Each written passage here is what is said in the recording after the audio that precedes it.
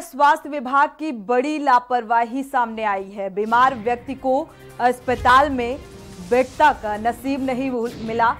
हुआ, माफ़ कीजिएगा, मानवता को शर्मसार करने वाली तस्वीरें भी सामने आई।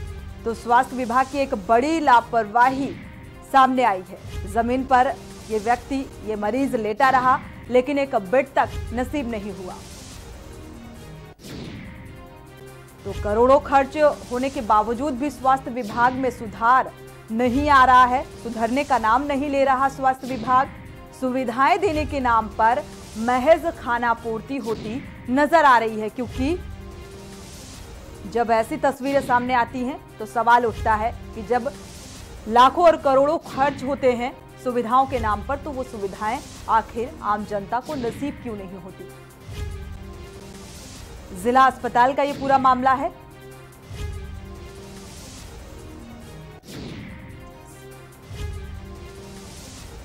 और इसी खबर पर ज़्यादा जानकारी के लिए धनंजय सिंह सहयोगी हमारे एटा से जुड़े हुए हैं। धनंजय, एक बार फिर से स्वास्थ्य विभाग की लापरवाही देखने को मिली है। क्या जानकारी है इससे संबंधित? देखिए मैं आपको पूरा मामला बता दूँ। ये मामला जो जिला अस्पताल का है और वहाँ देखने में एक बड़ा संवेदनहीन जो डॉक्टर है उनका चेहरा सामने आया है।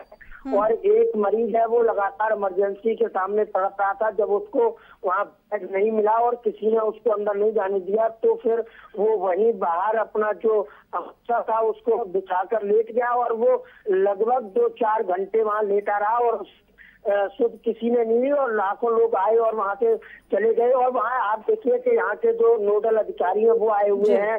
बाकी सहायक नोडल अधिकारी एटा में आए हुए हैं और सारे लोगों ने निरीक्षण करने धनंजय क्या अब अब बेड नसीब हो पाया है इस मरीज़ को या फिर अभी भी ज़मीन पर ही लेटा हुआ है? सीएमओ से क्या आपने बात करने की कोशिश की इस बाबत?